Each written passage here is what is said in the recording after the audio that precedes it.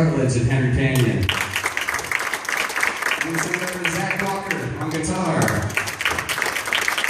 Jacob Denver on the upright bass.